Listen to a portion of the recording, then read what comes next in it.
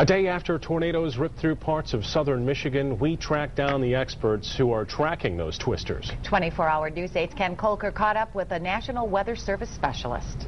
And is it just the roof that ended up getting lifted off the church, or what other damage do you have? Any of the walls get no, pushed in? Weather Service warning specialist Jamie Belinsky is touring Chapel Hill Methodist Church, wondering what kind of tornado can do this damage. Not just to the church, but to the homes of neighbors.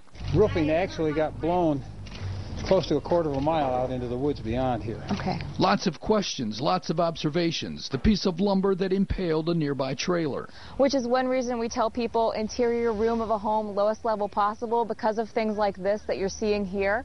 The church's brick walls untouched. A big clue. Right now, I think the main determination is determining if this is EF1 or EF2. Then behind the church, where volunteers are cleaning up chunks of the roof.